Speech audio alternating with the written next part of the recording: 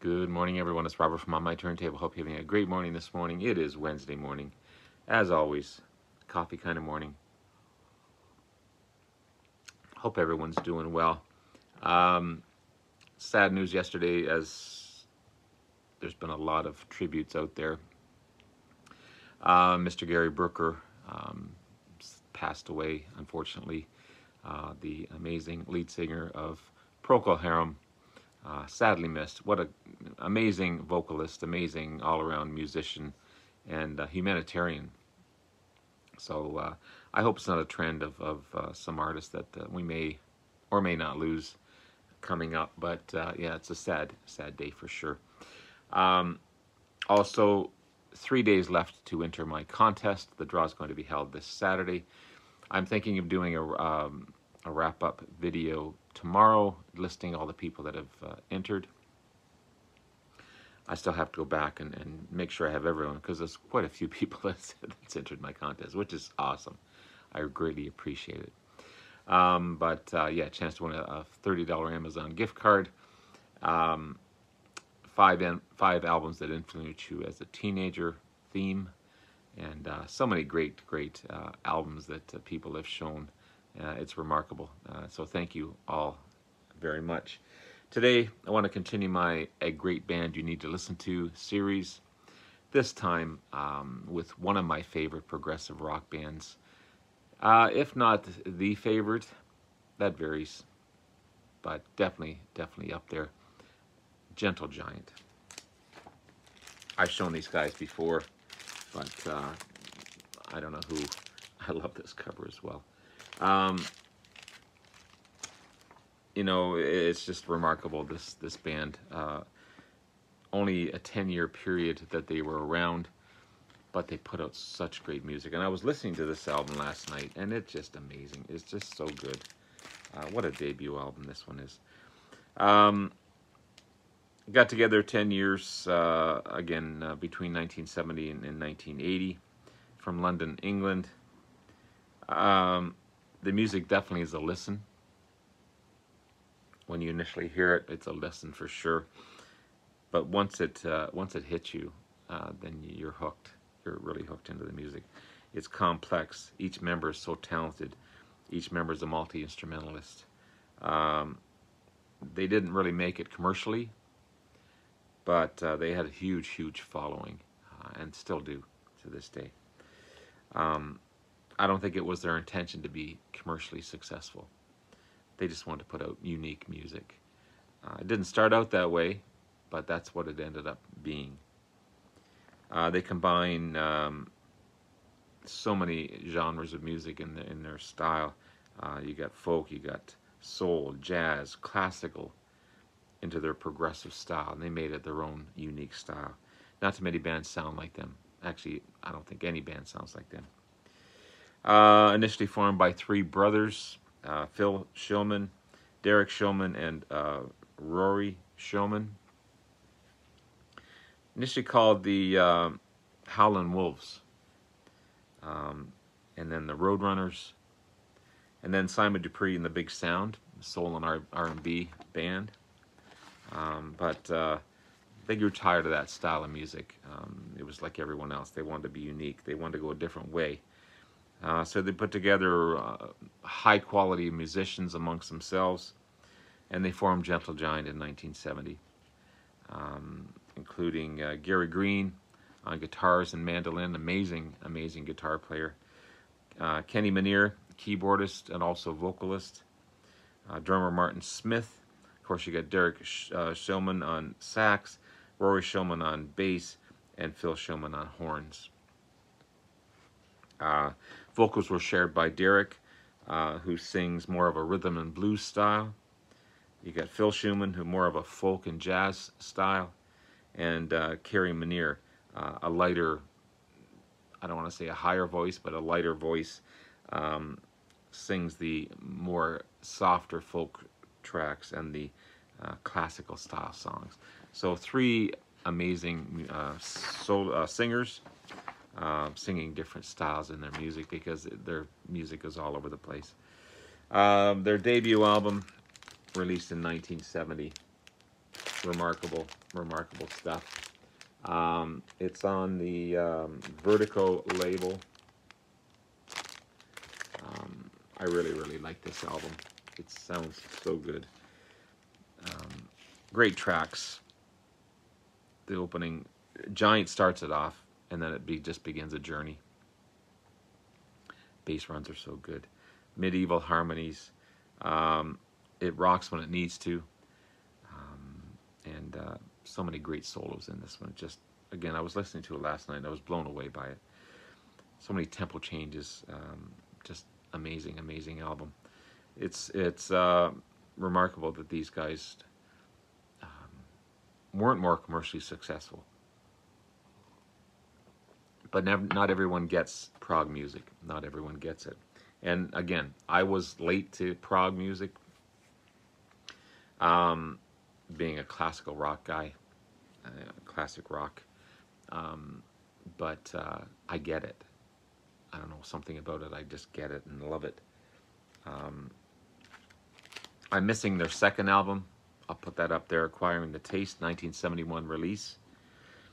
And their third album, Three Friends, again. And uh, believe me, they're on my list to get. I'm missing another one too, and I'll talk about that in, in a moment. But uh, I'm missing three albums out of their out of their discography. But uh, definitely, definitely an album I need to get. Albums I need to get. So their fourth album, Octopus, and there's two different covers of this one. Uh, this is the UK cover, and this is the US cover. Um, this one's on the Columbia label. Probably, some say their best album. I, I don't know. It's hard to tell. It, it's uh, it's really really good. This is a Steven Wilson remix as well. Um, I really love this album. There's the band there. I really, really do. It's it's such a great, great album. Uh, they had this one. Uh, I watched uh, the Sea of Tranquility channel, and uh, they had a panel of I think eight people, and they were ranking this one against um, Volume Four, Black Sabbath Volume Four, and this one won out by a mile because there's not a wasted uh, note in the album where Volume Four has got some different changes and it's not real, not very well produced. I love the album. Don't get me wrong. I, I think Black Sabbath again is one of my favorite classic rock bands, um, just below Deep Purple. But uh, I was surprised that this one just blew Volume Four out of the water, and I can see why. It's just remarkable. Uh, so it's the last to feature Phil uh, Shulman. Um, he left after this album one of the founding members, of course, one of the brothers, and the first uh, with new drummer uh, John uh, uh, John Weather, I believe it is, on this one. Um, hope I have that name right. Um, where's your name here? Of course, is at the back? It's not listed here. I think it's John Weather. He's a great photo of the band as well. But what a great album. Just a, a, a amazing, amazing stuff. Um, I would say, again, uh, at their peak, Octopus, remarkable. Two different versions of the cover. and then their fifth album, In a Glass House. Now the the cover's kind of worn on this one. You can see it's all taped up and uh, not in the best of shape, but the vinyl itself. This is on the WWA label. Uh, this is a great album as well. Um, loosely based on a concept of uh, people who live in glass houses uh, that old concept of, you know, be careful what you say. Um, the album starts off with Broken Glass and it ends with Broken Glass. But uh, a lot of people live in glass houses. there's a lot of people. So it's a loosely based concept album, and um, there's some meaning to this one, and uh, it's relative to to what's happening today. But fantastic, fantastic album. I hope to find one in better shape at this point in time, but uh, glad I have it still in my collection. Uh, a cool album. This is a great one as well, and uh, I love the cover on this one. This is The Power and the Glory. Power and the Glory is their sixth album. Um, another loosely based concept album of um, people in power and how they treat the common people. Um, money and power will win no matter what. That's kind of the theme of it. Um, again, relevant to uh, to today, what's going on in politics and all that other stuff.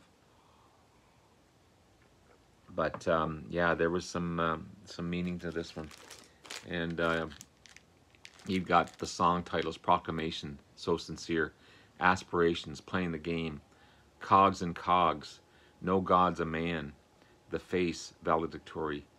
Um, again, uh, Derek Shulman on vocals and all saxes, Ray Shulman on bass and violin and vocals, uh, Kerry Minnear on keyboards and cello and vocals, Gary Green, what an amazing guitarist, all guitars, John Weathers, yes, Weathers, sorry, thank you. Thank you for this album to point that out. Um, uh, on drums and also backing vocals. And um, the Shulman Brothers and uh, Kerry Minnear wrote all the songs to this one as well. But just the song titles, you know, playing the game, um, so sincere, which is probably fake. Aspirations, people have dreams and aspirations. Just a fantastic, fantastic album. Power and Glory. Um, this is one of their few higher charting albums, uh, and again, a great, great album. This is Freehand. Uh, this is on the turquoise, I guess, or baby, yeah, it's turquoise, greenish turquoise, uh, Capitol label. Wonderful, wonderful album. It's their seventh album. I also have another Steven remix, Steven Wilson remix of this one. Um, sounds amazing, really, really good ranked at, uh, it was in the top 50 as far as the charts go. So they did, uh, I think the popularity was kicking in at that time. And um, yeah, I, I've kept the hype sticker on that one as well. I always try and keep the hype stickers if they're relevant to the to the um, album itself.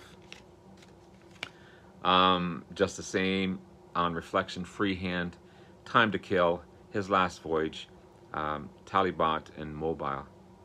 Um, again, the same lineup as previously done, uh, 1975 release. Such a great album, such a great album. Uh, this next one,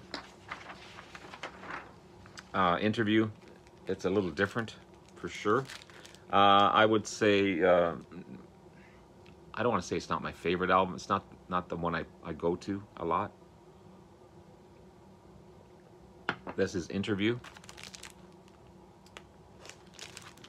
Band there. Another concept album, their eighth studio album released in 1976.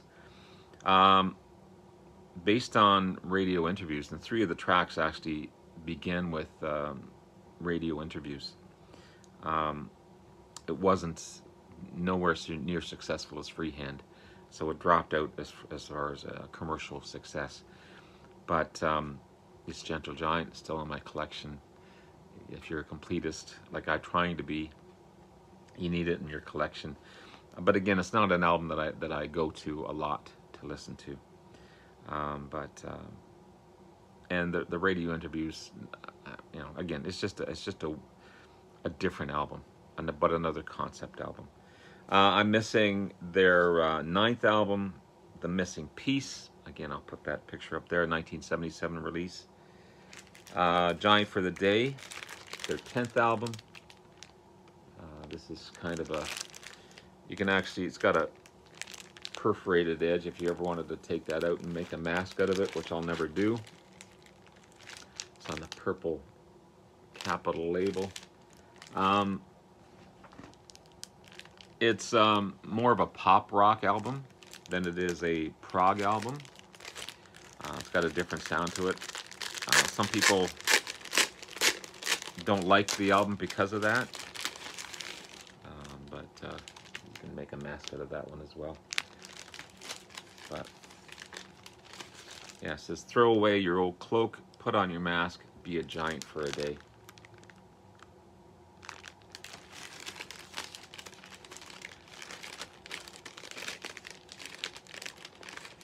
That's in the, that's actually in the uh, sleeve. And uh, there's some cool photos there of the band. So you got uh, Words from the Wise, Thank You, Giant for a Day, uh, Spooky Boogie, Take Me, uh, Little Brown Bag, Friends, No Stranger, It's Only Goodbye, and Rock Climber. Again, you got the the Shulman brothers, Derek and Ray, uh, Derek on vocals, Ray on bass, uh, Kerry Minnear on keyboards, uh, Gary Green on guitars, and John Weathers on drums. Um, cool, cool album. And uh, yeah, everyone's a giant with their masks on up there. it's cool. So again, cool album.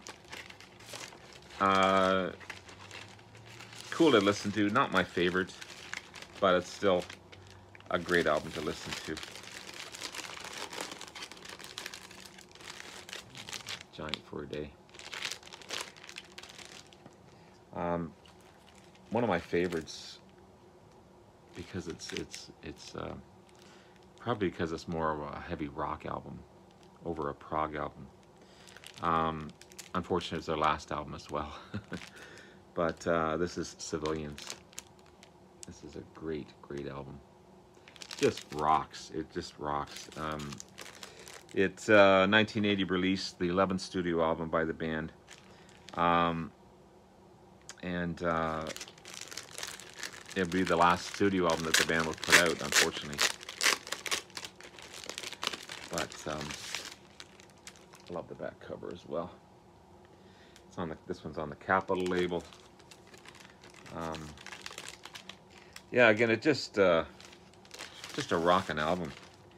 Um, you've got um, uh, Convenience, Clean and Easy, All Through the Night, Shadows on the Street, Number One, Underground, I'm a Camera, Inside Out, and It's Not Imagination. But uh, I throw this one on quite a bit. Great stuff. I also have a live album by these guys. This is 1977's um, Playing the Fool double album of wonderful live tracks by these guys. This is on their European tour. Um, the cover is a little wonky up here, but uh, it's on the Orange Capitol label. Uh, you've got all their classic tracks on this one. The gatefold as well, just so good. And finally, um, this is a um, kind of a compilation album. Giant Steps, the first five years. Another double album um, of some of the music from their first five years of their of their existence. Uh, it's on the um, it's on the Vertigo label.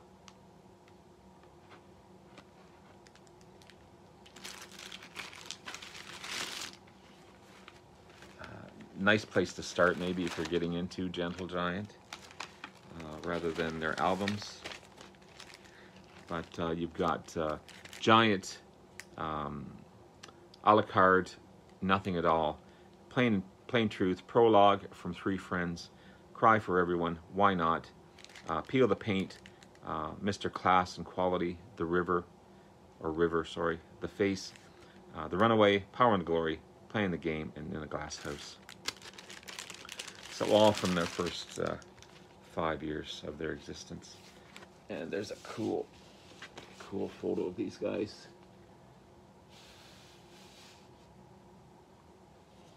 So there's my look at Gentle Giant. Definitely a band you need to listen to.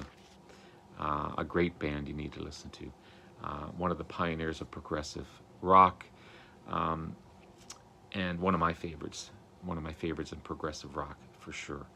Um, but uh, I think it's a band everyone needs to know, everyone needs to get into.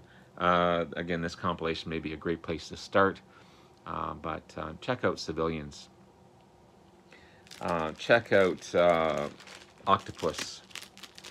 Um, check out Freehand. I mean, so many great, great albums to to check out. But there you have it, guys. Um, I'll be back again soon with another look at a great band you need to listen to. I'm loving this series. It's a lot of fun. And uh, have yourself a wonderful day. Take care. We'll talk to you again soon.